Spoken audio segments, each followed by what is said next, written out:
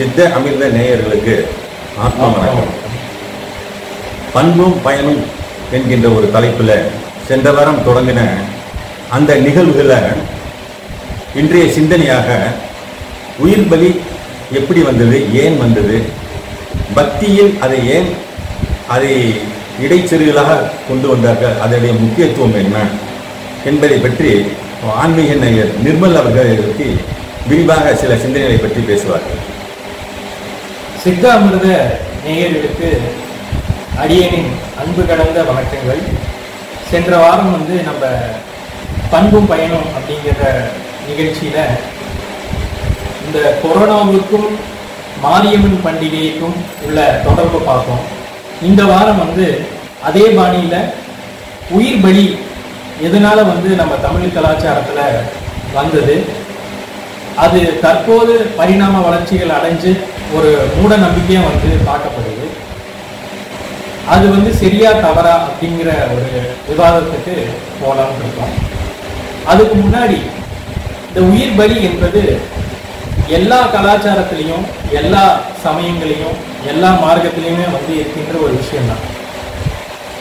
அன்பை போதிக்கின்ற சில மார்க்கங்களான இந்த ஜெயின மதம் மற்றும் பௌத்த மதத்தில் வந்து உயிர் பலி இல்லை. மற்ற எல்லா மார்க்கங்களையும் எல்லா கலாச்சாரத்திலையுமே வந்து அது தற்போது உள்ள நிலையில வந்து ரொம்பவும் வேரூன்றி இருக்கு. ஆனா தமிழர்கள் வந்து ஏன் இந்த உயிர் பலியை வந்து கொடுத்துருப்பாங்க அப்படின்னு நம்ம சிந்திக்க போனோம்னா பண்டைய காலத்துல வந்து இந்த முல்லை நிலம் அதாவது காடு காடு வனம் சார்ந்த பகுதி மற்றும் குறிஞ்சி நிலம் மலை மலை சார்ந்த பகுதிகளில் வந்து மக்கள் வாழ்ந்துட்டு இருந்த காலத்தில் இந்த கொடிய வனவிலங்குகள் அதாவது ஆட்கொல்லியான புலி சிங்கம் கரடி செந்நாய்க்கள் ஓநாய்க்கள் போன்ற மிருகங்களால் வந்து ரொம்ப அச்சுறுத்தல் வந்து மனிதர்களுக்கு ஏற்பட்டுச்சு.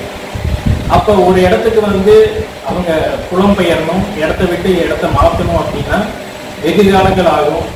பல தட்டவெப்ப சூழ்நிலைக்கு தகுந்த மாதிரி அந்த மழை வெயில் போன்ற விஷயங்கள்லாம் வந்து அவங்க பார்த்து போகிறது அப்படி போகும்போது அவங்களுக்கு இந்த வனவிலங்குகளால் பல இடையூறுகள் வந்து ஏற்பட்டு இருந்துச்சு.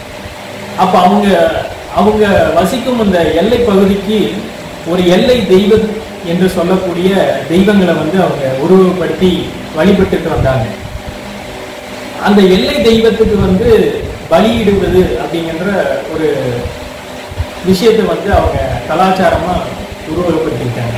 ஏன் அப்படின்னா ஒரு இடத்தை விட்டு இன்னொரு இடம் போய் குளம் பெயர்ந்து போகும்போது இந்த கொடிய வனவிலங்குகள் வந்து அவங்க தாக்கக்கூடாதுங்கிறதுக்காக ஒரு ஏதோ ஒரு உயிரை அதாவது ஒரு ஆடையோ அல்லது காட்டுப்பன்றியையோ அல்லது வந்து அவங்க வளர்க்கின்ற ஒரு கோழியும் வந்து ஒரு இடத்துல வந்து பலியிடுவாங்க. அதாவது அந்த கோழியின் ஆஹ், ஆடோட தலையை வந்து வெட்டி அந்த இடத்துல வந்து ரத்தம் சிந்துற மாதிரி வந்து ஒரு பலியை செய்வாங்க. அதனால வந்து அந்த வன விலங்குகள் வந்து அந்த ரத்தை அதாவது இளம் ரத்தத்தை வந்து முகர்ந்து சுவாசம் செய்து அந்த வனவிலங்குகள் வந்து அந்த இடத்துக்கு வர ஆரம்பிச்சு இவங்க அதுக்குள்ள ஒரு இடத்துக்கு வந்து புலம்பெயர்ந்து போயிடுவாங்க. அப்படி இல்லைன்னா அவங்க எல்லைக்குள்ளார அந்த வனவிலங்குகள் வந்து உள்ள வராது அச்சுறுத்தல் செய்யாது. இதுக்காக தான் அந்த காலத்துல வந்து முல்லை நிலங்களையும் குறிஞ்சி நிலமான மலைப்பகுதிகளில் வந்து இந்த நடைமுறையை வந்து நம் பழம் தமிழர்கள் வந்து முன்னோர்கள் வந்து கடைபிடிச்சிட்டு வந்தாங்க. அதிலிருந்து கொஞ்சம் பரிணாம வளர்ச்சி அடைந்து இந்த மருத நிலத்துல அதாவது நம்ம விவசாயம் செய்யக்கூடிய பூமியில் வந்து ஆஹ், கிராமங்கள்ல சின்ன சின்ன குக்கிராமங்கள்ல வந்து ஆஹ், எந்த ஒரு விஞ்ஞான வளர்ச்சியும் இல்லாத காலகட்டங்களில் வந்து தற்போது எப்படி இந்த கொரோனா என்கின்ற ஒரு இனம் முடியாத நோய் தாக்கம் ஏற்பட்டுதோ அதே மாதிரி அந்த காலத்தில் வந்து இந்த மருத்துவ வளர்ச்சியில் இல்லாத காலகட்டங்களில் வந்து ஒரு இனம் புரியாத நோய் வந்துட்டா அந்த ஊர் காவல் தெய்வம் அல்லது எல்லை தெய்வம் இதுக்கு போய் ஒரு உயிர் பலியை வந்து கொடுக்கறத ஒரு வழக்கமாக வச்சுட்டு இருக்காங்க இதுலேயும் வந்து சில விஞ்ஞானங்கள் வந்து சூட்சமமாக மறைஞ்சிருக்கு. இப்போ ஒரு வயது முதிர்ந்த ஒரு ஆட்டை வந்து அதாவது தன் எல்லா ஒரு பால்னை இந்த வளர்ச்சியும் அடைந்த ஒரு ஒரு உயிரினத்தை அதாவது கோழி ஆடையோ அதற்கான அந்த இன செயற்கையெல்லாம் முடிஞ்சதுக்கப்புறம் அந்த வயது முதிர்ந்த ஆட்டை வேற எந்த ஒரு வழியும் இல்லை அப்படிங்கும்போது அந்த தெய்வத்துக்கு கொண்டு போய் ஒரு பலியிடும் சடங்காக வச்சுட்டு இருந்திருக்காங்க. அப்படி பலியிடும் போது அந்த இளம் ரத்தத்தை அதாவது அந்த ஃப்ரெஷ் பிளட் என்று சொல்லக்கூடிய அந்த இளம் ரத்தத்தை கீழே தரையில் பட்ட உடனே இந்த ஒட்டுண்ணிகள் அதாவது கிருமிகள் என்று சொல்லக்கூடிய பாக்டீரியா வைரஸ் ஃபங்கஸ் எப்பேற்பட்ட அந்த கிருமியும் வந்து அந்த ரத்தத்தில் வந்து ஒட்டுணியாக ஒட்டிக்கொள்ளும் அதாவது கண்ணுக்கு தெரியாத அந்த கிருமி அந்த நோய் கிருமி வந்து அந்த ரத்தத்தில் வந்து ஒட்டிக்கொள்ளும் அந்த ரத்தத்தை தான் வந்து பலியிட்டு எல்லா இடத்துலையும் வந்து எல்லா தெருக்களையும் அந்த குக்கிராமத்திற்குள்ள சந்து முந்தி என்பதுங்க. சொல்லக்கூடிய அத்தனை தெருக்களையும் வந்து அதை தெளிப்பாருங்க. அது தெளிக்கும் போது என்ன ஆகும்னா அந்த ஒட்டுணிகள் வந்து அந்த ரத்தத்தில் வந்து ஒட்டிக்கொள்ளும். ஒட்டுறது மட்டும் இல்லாமல் அந்த ரத்தம் காயும் போது அந்த கிருமிகள் வந்து அதோட வந்து காஞ்சு இறந்துடும் செயல்படாமல் போயிடும். அப்போ வந்து அந்த நோயோட தாக்கம் வந்து அந்த கிராமத்தில் கம்மியாயிடும் வேற தவிர்க்க முடியாத ஒரு காரணத்துக்காக தான் மருத நிலத்தில் வாழ்ந்த அந்த நம் பழங்குடியான தமிழ் பெருமக்கள் வந்து பண்ணிட்டு வந்திருக்காங்க.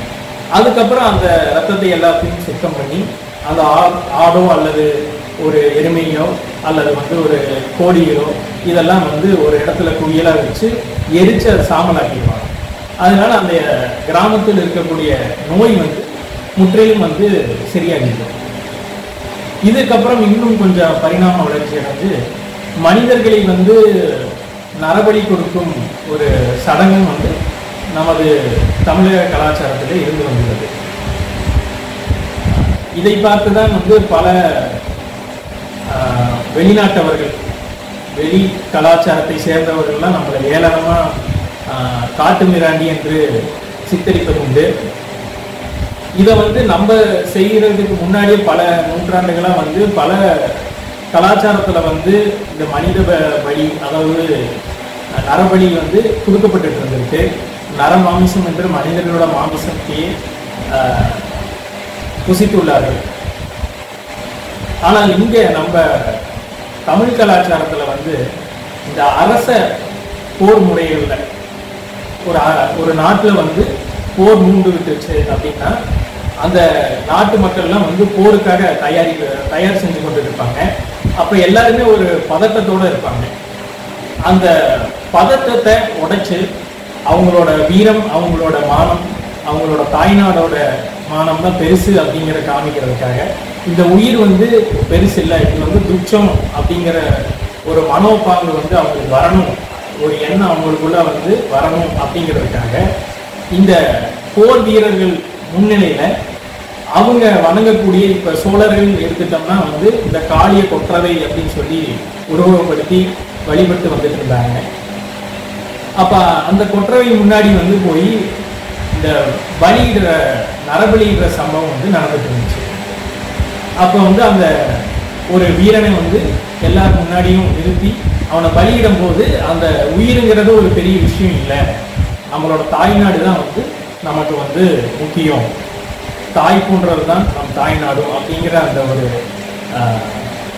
மனோபாவத்துக்காகவும் ஒரு ஆக்ரோஷம் வரணும் அவங்களுக்குள்ள ஒரு வேகமும் ஒரு துடிப்பு வரணும் அப்படிங்கிறதுக்காக நவகண்டம் என்கின்ற இந்த பலி வந்து கொடுக்கப்பட்டது.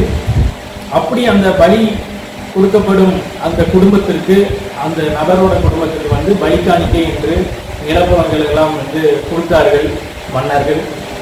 அவங்களோட குடும்பத்துக்கு வந்து மறுகுண அரச பதவிகள்லாம் வந்து கொடுத்துருக்குறாங்க.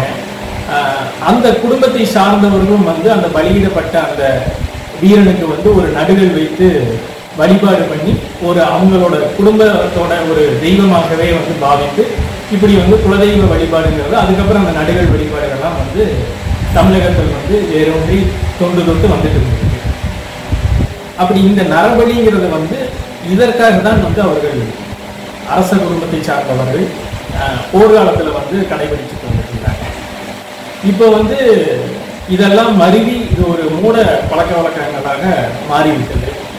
இப்போ அந்த குறிஞ்சி முல்லை போன்ற இடங்கள்லாம் வந்து வனவிலங்குகளோட அச்சுறுத்தல் வந்து கம்மியாயிருச்சு. அப்புறம் வந்து இங்கே நம்ம மருத நிலத்தில் இருக்கக்கூடிய குக்கிராமங்கள்லாம் விரிந்து பறந்து நகர நகரங்களாக மாறிவிட்டது. அப்போ வந்து இந்த பலிங்கிறது அந்த பக்தியோட சேர்ந்து ஏதோ ஒரு சடங்குக்காக அதாவது இது வந்து நோய் வந்து ஆஹ், தற்காத்துக்கணும் நோய் வந்தால் வந்து இந்த பலியை கொடுத்து தற்காத்துக்கணுங்கிற அந்த ஒரு விதியை மறந்து அந்த பழக்கத்தை வந்து மறந்து ஏன் பண்ணுறோம் அப்படிங்கிறது தெரியாமல் இந்த பக்தி மார்க்கத்தில் வந்து எதற்கெடுத்தாலும் ஒரு பலி அப்படிங்கிற ஒரு சடங்கு வந்து ஏற்பட்டு விட்டது இப்போ மழை வரலைன்னா ஒரு பலி ஏதோ ஒரு வேண்டுதல் நிறைவேறிடுச்சு அப்படின்னா அதுக்காக பலி கொடுக்கறது அப்படிங்கிறது ஒரு சடங்கு சம்பிரதாயமா மாறிடுச்சு.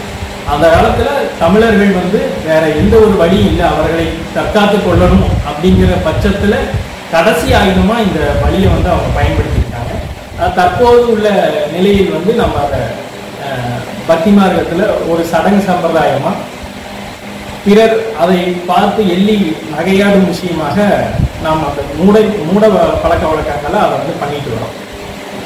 சரி இப்போ வந்து இந்த உயிர் பலி வந்து சரியா தவறா அப்படிங்கிற விஷயத்த வந்து நம்ம ஐயா கிட்ட இருந்து அவரோட சிந்தனை வாயிலாக தெரிஞ்சுக்கலாம் பொதுவாக மனிதர்கள் இந்த உலக வாழ்க்கையில புற அறிவை கொண்டு அவர்களுக்கு ஆன எந்த ஒன்றோ அவர்கள் தோன்றின ஒன்றை செய்கிறார்கள். அதில் சரி தவறு என்று சிந்திக்கக்கூடிய ஒரு ஞானம் அவர்களிடம் இல்லை. ஆனால் சித்தர்களுடைய கோட்பாடு இவ்வாறு அல்ல அதற்காகத்தான் அக்காலத்தில் குருகுல கல்வி என்று இவர்களுக்கு அறிவு மட்டும் போதாது புற அறிவு பத்தாது. ஞானமும் வேண்டும் என்பதற்காகத்தான் அவர்கள் பெரிய அளவுக்கு குருகுல கல்வியை கற்றுக் கொடுத்தார்கள். இப்போ ஒரு கோயில் அப்படின்னு எடுத்துக்கிட்டோம்னா அந்த கோயிலோட அமைப்பில் உள்ள நுழைந்த உடனே ஒரு கொடிமரம் இருக்கின்றன. அதுக்கு அடுத்தபடியாக ஒரு பலிப்பீடம் இருக்கின்றன. கோயில் எதற்காக பலிப்பிடம் வைத்தார்கள்? சித்தர்கள் வகுத்த அந்த கோட்பாடு இங்கு எவ்வாறாக எதை நமக்கு உணர்த்துகின்றன என்று ஒரு சிந்தனை எடுத்துக்கொண்டோமானால் அந்த கோயிலுக்கு வரும்போது உள்ளே செல்லும் பக்தர்கள் தனக்கு அதாவது கெட்ட எண்ணங்கள் துஷ்பிரயோகங்கள் அவ்வாறாக தன் உள்ளே இருக்கக்கூடிய அனைத்தையும் இங்கு பலியிட்டு விடு என்று சொல்வதற்காகத்தான் அங்கு பலிபிடம் வைத்திருக்கிறார்கள். ராக விகாராதிகள் என்று சிவானந்த பரமஹம்சர் அங்கு குறிப்பிடுவார்கள். அதாவது விருப்பு வெறுப்பு என்கின்ற இரண்டையும் நீ பலி கொடுத்து விட்டால் அங்கு உன்னுள்ளே இருக்கக்கூடிய ஒரு ஆத்ம ஜோதி உன்னிலே தெரியும் என்று அவர் குறிப்பிடுகிறார். அதுபோல அந்த பலிபீடம் என்பது நம்மிடம் உள்ள வேண்டத்தகாத அந்த குணங்களையும் எண்ணங்களையும் அங்கு பலியிட்டு விட்டு உள்ளே சென்றால் ஈஸ்வர தரிசனம் கிடைக்கும் என்பதுதான் இதுதான் சித்தருடைய கோட்பாடு. இவ்வாறாக உள்ளதை பிற்காலத்தில் தொடர்ந்து வந்த மக்கள் அது பலிபிடம் என்றால் உயிர்களை பலி கொடுப்பது என்கின்ற அவ்வாறாக அபிமானித்து தான் இவ்வாறாக தொடர்ந்து இந்த பலி செயல்களை நடத்த ஆரம்பித்தார்கள். இதுதான் தோற்றம். இது அவர்களுடைய புற அறிவு என்பதை சொல்லலாம். அது அக ஞானம் சித்தர்களுடைய கோட்பாடு என்பதை அவர்கள் உணர்ந்திருந்தால் அங்கு அந்த பலி என்ற ஒன்று இல்லை. அந்த உண்மையான எந்த நிலையை அவர்கள் உணர்ந்திருப்பார்கள் என்பதை இங்கு நாம் குறிப்பிடுகிறேன். அவர்களுடைய கோட்பாடின்படி பார்த்தோமானால் ஏக ஜீவன் ஒன்று. எங்கிட்ட இருக்கிற ஜீவன் தான் உங்கள்கிட்ட இருக்குது. ஒவ்வொரு உயிர்கிட்டையும் இருக்குது. ஒரு கொசு கிட்ட கூட நம்ம கிட்ட என்ன ஜீவன் இருக்கோ அதுதான் அங்கே இருக்குது. அப்படிங்கிற உணர்வுல தான் ஞானம். இது ஜீவகாரண்யம் அப்படிங்கிற ஒழுக்கத்தை எல்லா சித்தர்களும் எல்லா ஞானிகளும் வலியுறுத்திருக்கிறாங்க அதில் சமீபத்தில் நமக்கு வந்து வரலாறு இதை ரொம்ப வலியுறுத்திருக்கிறாரு அதுக்கடுத்து சிவானந்த பரமஹம்சர் இதை பற்றி சொல்லியிருக்காரு அப்படின்னு சொல்லி சொன்னோம்னாக்க அந்த ஜீவனுக்கு ஒரு கருணை செய்யவில்லை. அந்த ஜீவனுக்கு கருணை செய்யவில்லை என்றால் நம்முடைய ஜீவனுக்கு கருணை செய்யவில்லை என்று ஆகிவிடும். அவ்வாறாக ஆகும்போது அவர்கள் வந்து முக்தி அடைவதோ அல்லது சமாதி அடைவதோ என்பது இயலாத காரியமாகிவிடும். ஏனென்றால் அந்த ஜீவனுக்கு என்ன துன்பம் என்றதோ அதே துன்பம் தான் தனக்கும் வரும் என்பது இது புரியாத நிலையில் தனக்கு சாதகமாக அடுத்தடுத்து வந்தவங்க அனைவரும் வந்து அதை வந்து எவ்வாறாக பயன்படுத்தினாங்கன்னா உணவுக்காக அதை ஒரு சுவையை அடைந்த பிறகு அந்த சுவைக்கு அடிமையாகி அதுதான் தனக்கு எல்லாம் என்று அவர் இவர்களாக அதை ஒரு அபிமானித்து அவ்வாறாக செய்யக்கூடிய ஒரு விஷயங்கள். பெருத்தெடுத்து இன்று உலகமெங்கும் பெரிய அளவுக்கு சென்று இன்று உலகம் வந்து பெரிய அளவுக்கு அல்லல் படுகின்றன ஒரு பெரிய துன்பப்படுகின்றன என்பதை பார்த்தார்கள். அதுவும் அடிப்படை காரணம் இதுவாக அமைந்து விட்டது என்பது இது இயற்கை கொடுத்த ஒரு பாடமாக எடுத்துக்கொள்ளலாம் இல்லது அல்லது இயற்கை கொடுத்த நமக்கு பதிலடி என்று சொல்லலாம். இது இயற்கைக்கு கோபம் உண்டாக்கக்கூடிய ஒரு செயலை செய்ததனால் நடந்தது. ஆனால் இது இயற்கைக்கு ஆத்திரம் உண்டானால் என்ன ஆகும் என்பதை நாம் சிந்தித்து பார்க்க வேண்டும். இந்த கணக்கிலாவது நாம் அதை புரிந்து கொண்டு சித்தர்கள் நமக்கு எதை வலியுறுத்தி இருக்கிறார்கள் அதன்படி நாம் எவ்வாறாக நடந்து கொள்ள வேண்டும் என்பதை நாம் புரிந்து கொண்டு செல்லவில்லை என்றால் இன்றைய காலகட்டத்தில் மனிதர்கள் அனுபவிக்கக்கூடிய பிரச்சனைகள் இது மீண்டும் தொடர்ந்து எல்லையில்லாத அளவுக்கு சென்று அனைவரும் மிக கொடூரமான ஒரு நிலைக்கு ஆளாகக்கூடிய சூழ்நிலைகள் வர வேண்டிய ஒரு கட்- கட்டத்தில் இருக்கின்றோம். ஆகவே நாம் சித்தர்கள் வழிமுறைப்படி சென்று எந்த ஒரு ஜீவனையும் நேசிக்க வேண்டும் ஜீவகாரண்ய ஒழுக்க வேண்டும் என்கின்ற ஒரு கோட்பாட்டில் வந்தால்தான் இன்று உலக மக்கள் சுபிச்சமாக வாழ முடியும் என்பதை தெரிவிக்கின்றனர் ஏன்னா எல்லா உயிர்களும் பிற உயிர்களை உண்டு உண்ணுகின்றன கொண்டு தின்கின்றன. ஆனால் மனிதன் ஒருவனே மோட்சத்தை அடைவதற்கு தகுதி உண்டானவன் என்பதற்காக மனிதர்களுக்கு மட்டுமே இவ்வாறான ஒரு உபதேசங்கள் கிடைக்கப்பெறுகின்றன அதை பயன்படுத்தி கொள்ள வேண்டும் என்பது இக்காலகட்டத்தில் இவ்வளவு நெருக்கடியான சூழ்நிலையில் இதை நாம் புரிந்து கொள்ள வேண்டும் என்பதை சொல்லிக்கொண்டு இந்த பதிவை நிறைவு செய்து கொண்டு அடுத்த பதிவு செல்வோம் நேர்களே. நன்றி வாழ்க வாழ்க வாழ்க வளமுடன். வாழ்க